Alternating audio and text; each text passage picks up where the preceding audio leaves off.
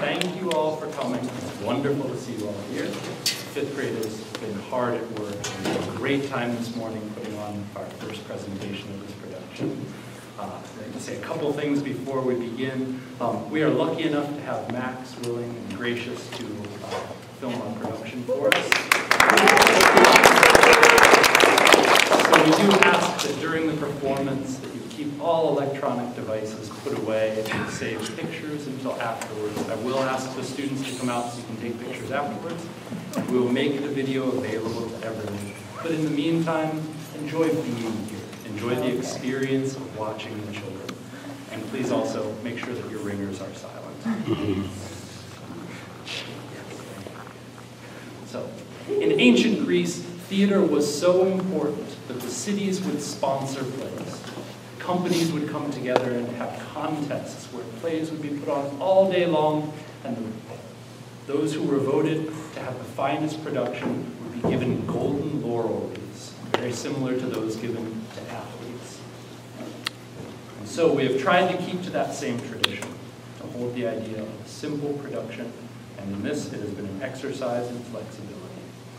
Children have worked very hard at learning their lines, being able to give them in such a way that the story is told by their voices and not without, or not without, not with need for any additional special effects or other things. Our story takes place in those days of ancient Greece, in a time of gods and heroes, in a time where the gods and the humans sometimes interacted, and at times in ways that would give rise to those people who could be half God and half man. This is the place where we begin. And so we will start tonight with our story of Perseus.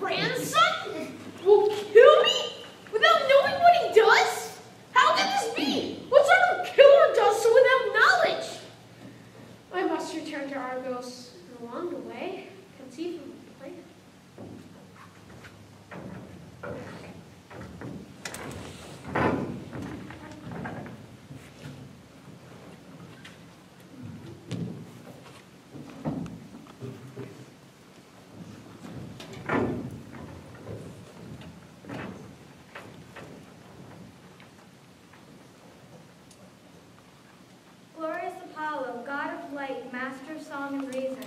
Listen to your servant, protect me still. May I remain to live my life in happy pursuit of motherhood and goodness. Continue to bless us with your gifts of life.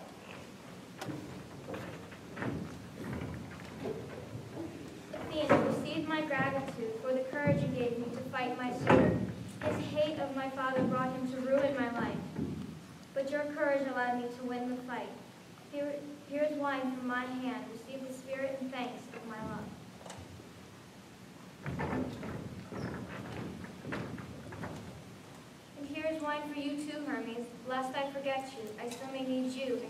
wits. Here, have more. Who knows how you will help me?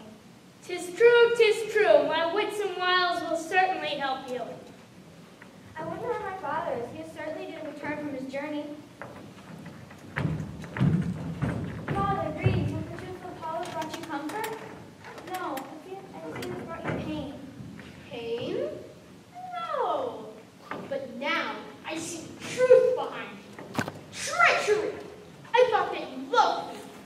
now, I see that you always plotted against me. A son will be born to you, and he will kill me. But I am too clever. I will stop your plan before it can go further. Servants, take this from me. Put her in the prison, far below ground. In Hades' room? Not even Zeus can help. Father, God takes me to life, not to my destiny. Be gone!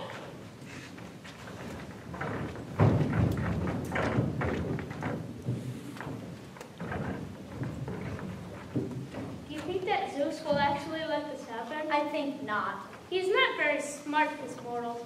And he had left off the bit about Zeus not being able to help her, he might have gotten away with it. Impossible. What do you mean? I made him say it. You? What would you care? We all have a hand in weaving the web of fate. Even the gods. Even you, my dear Hermes.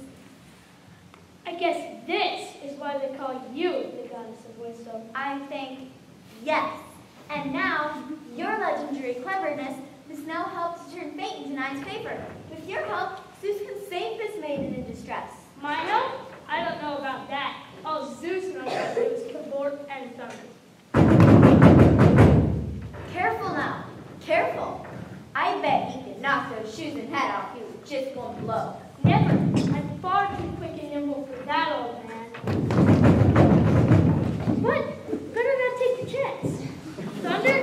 No, that doesn't sound right. Cavort? Yes.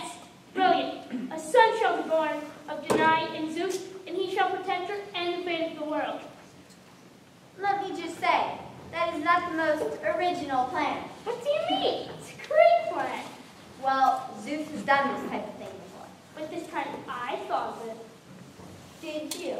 Who else thought of it, oh wise, gray-eyed, just and mighty Athena?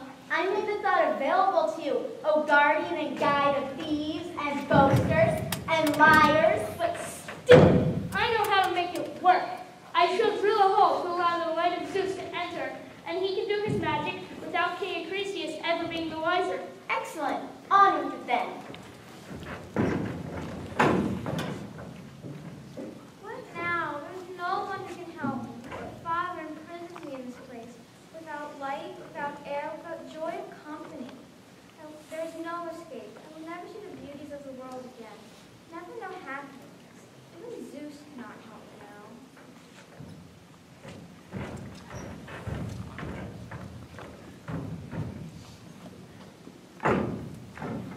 One should never give up on Zeus. It is I, Zeus, master of Olympus, I of the strong arm, who hurls thunderbolts from the heavens. I, wielder of great magic, who can change the shape of gods and mortals. I am Zeus, origin of the fates and the seasons. I shape the course of the planets. I am the lord of all. Mighty Zeus, I bow before you. Descend, magic glow, from the heavens to below.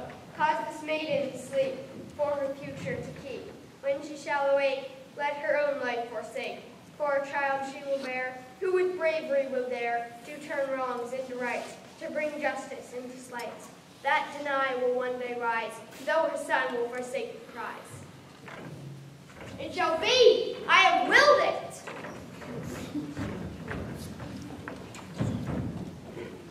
it!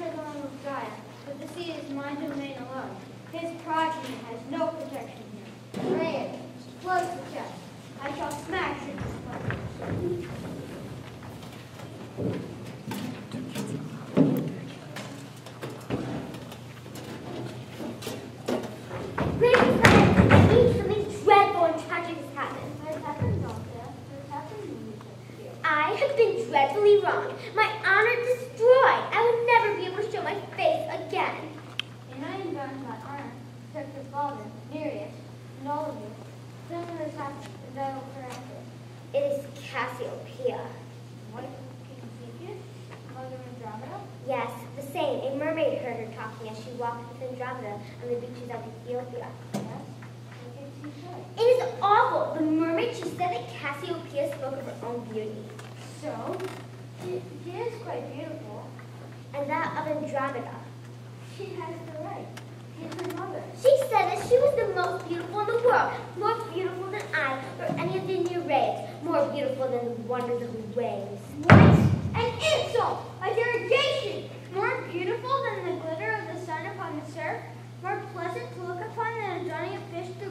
is insufferable. She shall pay dearly for this. But not only shall Cassiopeia pay her price for those, but fourteen years her daughter shall pay as well. Come, all of you, we have vengeance to reap on naughty mortals.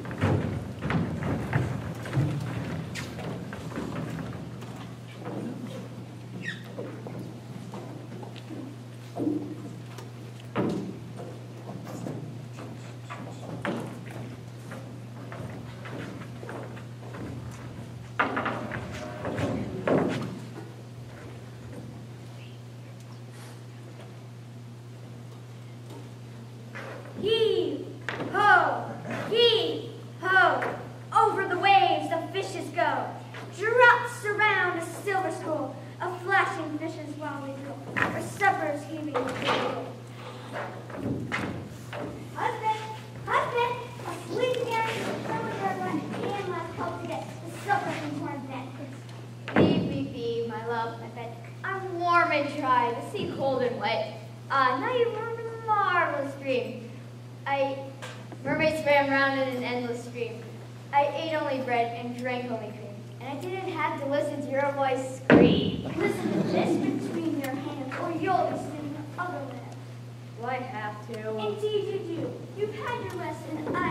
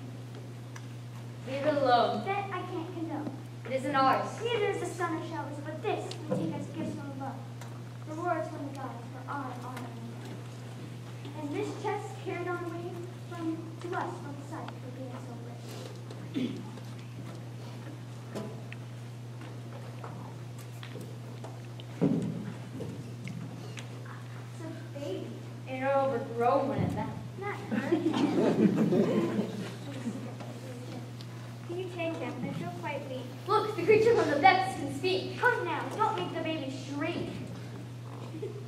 what brings you?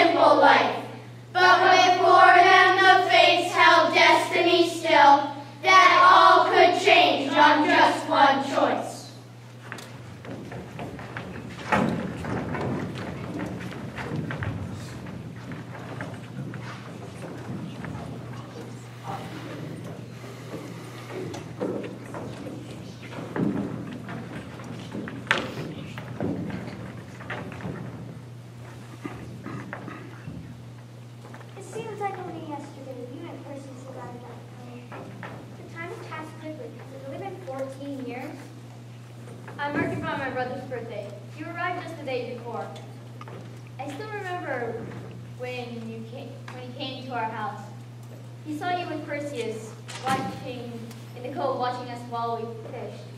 He had never set foot into our home until that day.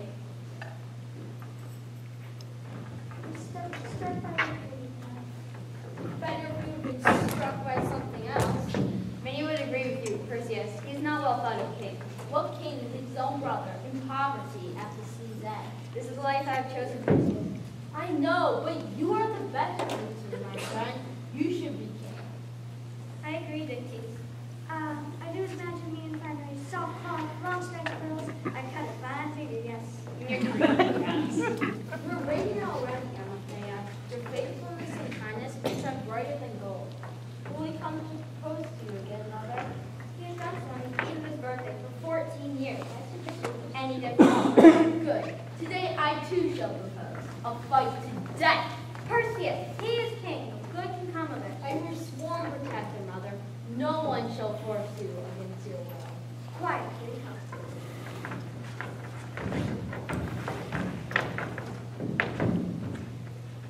Perseus is here this time.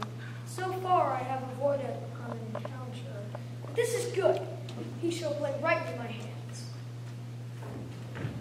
Now I have searched the land for flowers to rival your beauty, but again I fail. So, brother, will you come to my birthday celebration again tomorrow? Yes, and all the kingdom will come to cheer for you. It will be a special day. Why will you disappear? No, I wish for you to meet my wife to be. You look as though you have seen Medusa herself.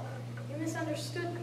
I realize now that I will never consent to be my wife, so I've suffered. That is good news. Surely there is some catch. No, no catch at all. Each family will come forward, give their gift, and receive the honor of giving generously. The king of Minos is said to be bringing a brass bull. Sparta will bring a magic sword. You bring, Perseus? You know I have nothing? I'm twice the man those pompous fool. I give you my word, I would bring Medusa's head if it meant you leave me and my mother alone. Hmm. Your word, you say? Excellent. That's exactly what I require. Though if you do not succeed, it will be an act against the king who will be in prison. Perhaps I will serve your mother out of kindness while you're not here for her.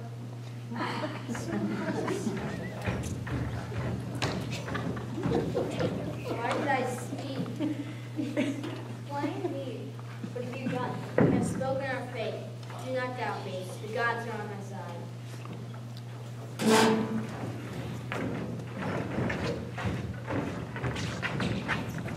Now I have my task before me. How will I exceed? Wise Athena, hear my call. Bring to me the virtue of your shining mind, that I may see the path ahead more clearly. Clever Hermes, hear my plea. Help me to find a way out of this binding coil. I must go face Medusa to keep the word I've given. But I do not even know how I can overcome such a creature. I do not even know where to find her. Do not despair, Perseus. Courage I give to thee, the heart of a servant and a king. Wisdom in thought, kindness in feeling, determination in action. Remember this, Medusa must only be seen in the reflection of my shield. Only then will her power to yours bend and yield. To find Medusa the Gorgon, you must outwit the Grey Ones three, and use the gifts the nymphs will give to thee. Quickness in action, thinking and feeling, flexibility in thought. Clarity I give to thee, the vision of an eagle and the heart of a lion. And, well, a sharp sword never hurts.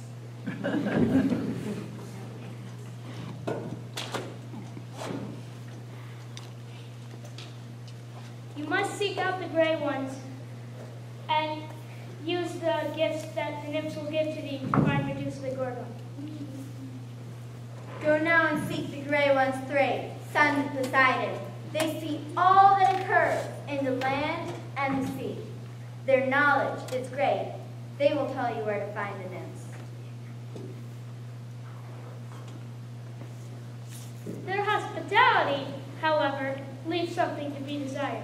You have to, well, encourage them to give them to give you the information you want. They have between the three of them only one eye and two. These are the only things they prize. Take them, and they will lead you to the nymphs, and in turn, to Medusa. Three things hold we, rulers who sit at the fountains of Olympus. Wisdom and beauty and skill, and freely we pour them among mortals. Pleased at our own image and man, we watch as parents over children. One thing only we cannot stand, when a hero, unthankful, boasts of, our, of gifts as his own, and dishonors the givers, or casts away these gifts as if they were beneath him. This we avenge as fit, but to all others we are never weary of giving. I hear you, wise, great Athena, quick, clever Hermes. I will heed your words and honor your gifts.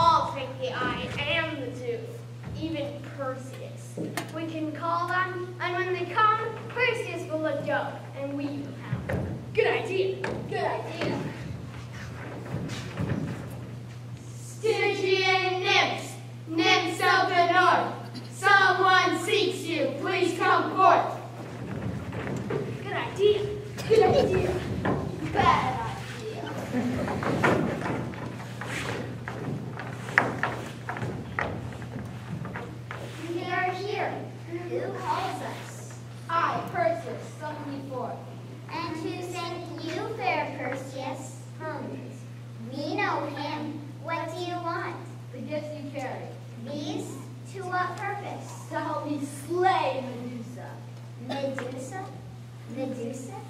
Medusa? She is a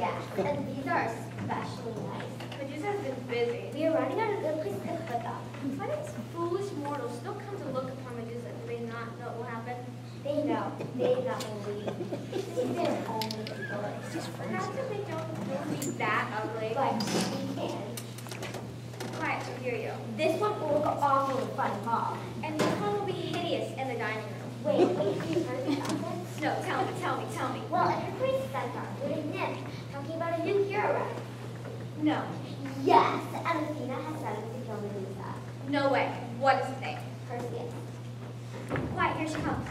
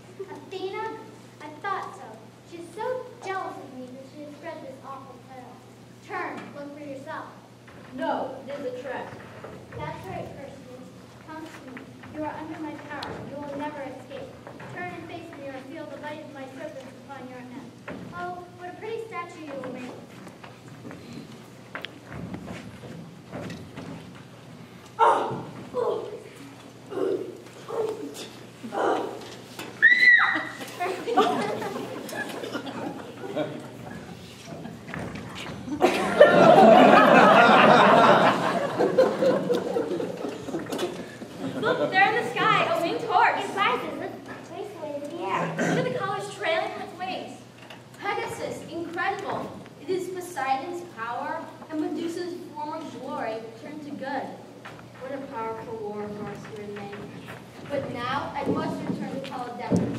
So on my pride, I shall follow the coast of Ethiopia, taking no rest. Help, help! No one help me! Help! Who calls? What is that voice? It is musical in tone. I must find out what is going on.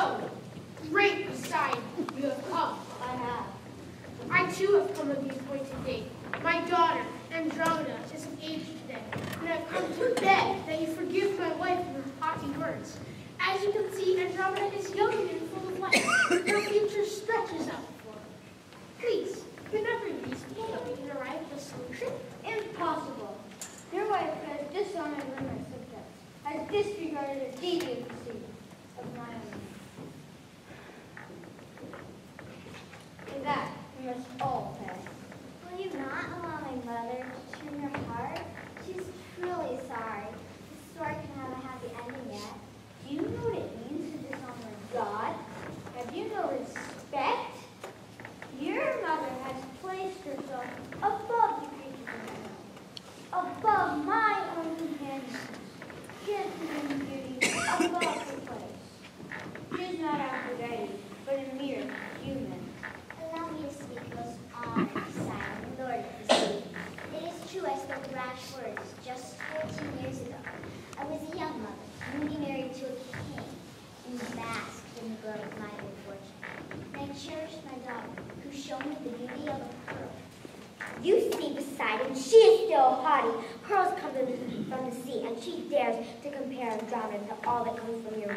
You twist my words.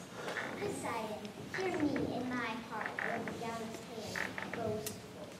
Now I'm boastful? It was you who boasted, you who bragged your beauty above my own, above all of your writers. Now you make me truly angry. That's you, fear. Watch I have watched enough these 14 years of fear. I shall no longer be silent. Mother, I am more beautiful than you. My daughter is more beautiful than either of us. There, I said it. Truth will win out above all things. The gods stand by what is right, what is just, and what is true. You may stand against us, Poseidon, but if anyone stands with me, you foolish mortal, silence, silence, please. Do not listen to her. I find out that she must beautiful. She absolutely shines. Her movements are graceful as all the other people.